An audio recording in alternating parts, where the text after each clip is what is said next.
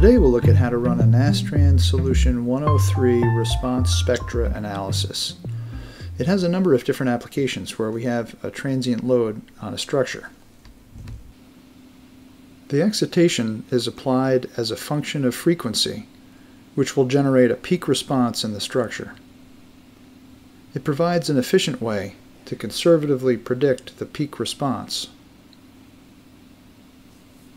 For the demonstration, we'll pick up from where we left off from an earlier video where we ran a random base excitation on an electronic box, since we can reuse the same model setup to create a new Solution 103 response spectra solution.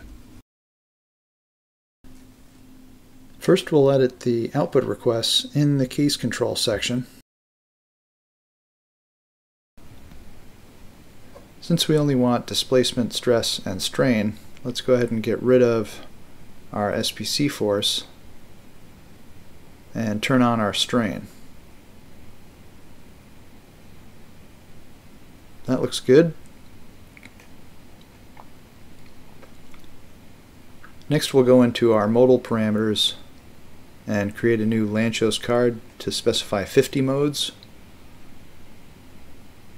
And then we'll also specify our modal damping with a critical damping factor of 2%. And lastly, we'll go into our bulk data parameters where we'll specify NOCOMPS to equal zero, which will get both ply stresses as well as equivalent stress.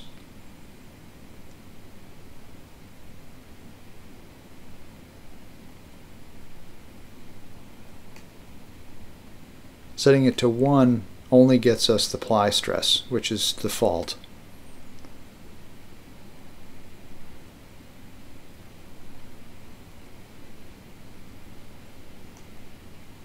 Alright, next we'll edit our subcase to specify some response spectra options and we want to specify our modal combination method as SRSS.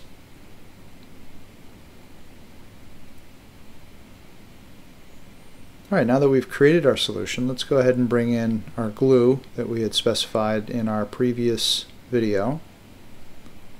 We'll create a new fixed constraint. And before we can specify our excitation load, we're going to bring in a shock pulse from a field file. And this field file has not only the shock pulse, but also the correct units for the pulse. And here we can take a look at that. It also includes the damping and the frequency and acceleration. And we can plot that.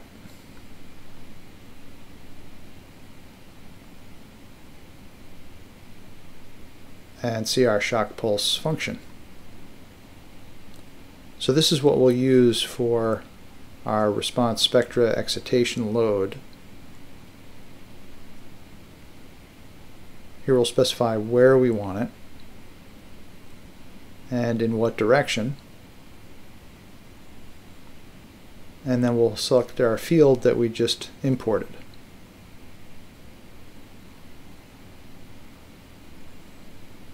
Alright, so at this point we're ready to solve. I'll go ahead and pause the video. But you can see it only takes uh, less than 20 seconds to solve. Now we need to be careful when viewing our results because only the component results for displacement are valid. So x, y, or z. So let's take a look at the y component displacement. And similarly with the stress results, only the individual stress components, XX, YY, and so on, as well as the von Mises stresses, are valid. The principal stresses, which are peak stresses that occur at a certain angle within the element, are derived from component values and have very little or no meaning for shock spectra. Response spectra analysis predicts the overall responses, that is, the maximum possible given a certain shock excitation. The response prediction since it's conservative, ensures that the design based on it will survive the shock loading. For this simulation, we only had uh, an excitation in one direction. However, we could have added additional subcases with excitations in additional directions. Here we can also see our strain results.